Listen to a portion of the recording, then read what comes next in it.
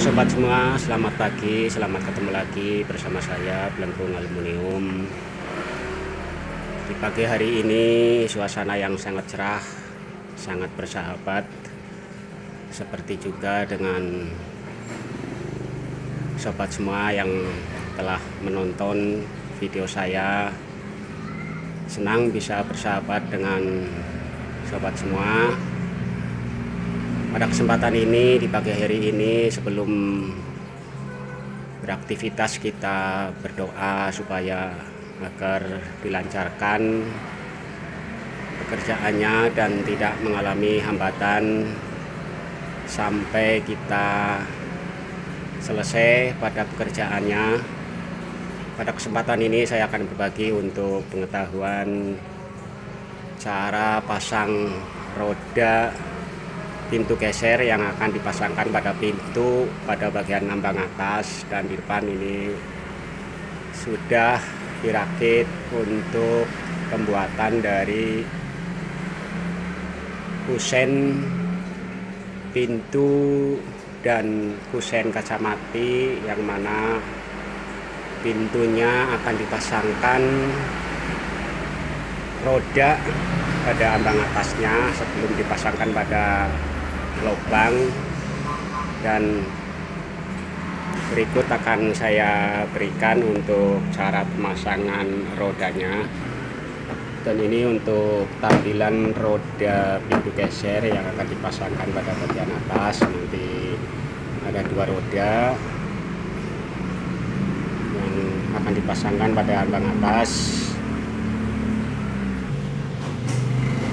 dan ini untuk rodanya akan kita pasangkan pada ambang atas.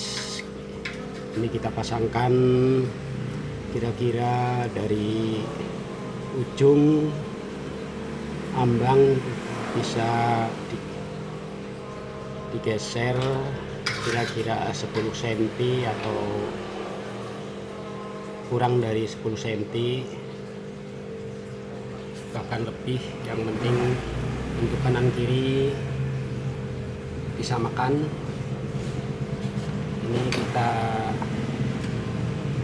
ratakan pada sisi bagian dalam pintu untuk pemasangannya. Selanjutnya kita skrup biar lebih kuat untuk berpegangannya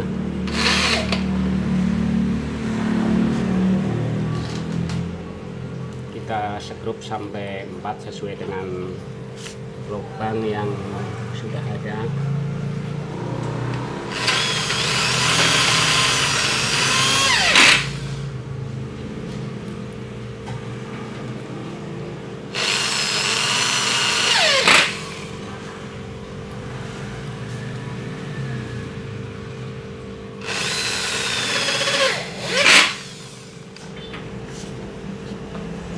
selanjutnya bisa dipasangkan untuk satu roda berikutnya.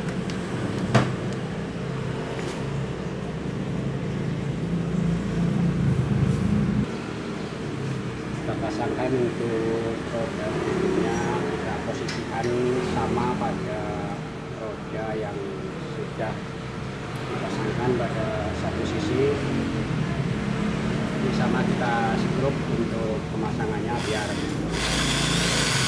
berpegangan lebih kuat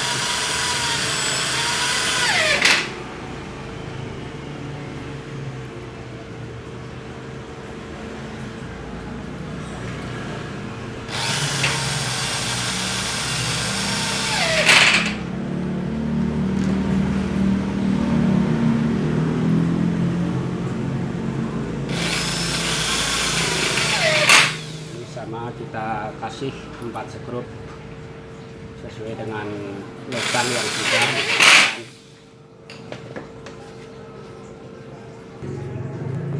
Sudah terpasangkan untuk kedua roda dari roda pintu geser pada pintunya. Dan ini posisinya sama pada kedua rodanya untuk pemasangannya. Berikutnya bisa dipasangkan untuk rel bagian bawah. Dan demikian sobat semua untuk cara pemasangan roda pintu geser. Semoga video ini bisa menambah pengetahuan dan bermanfaat. Dari saya cukup sekian. Sampai ketemu lagi pada video berikutnya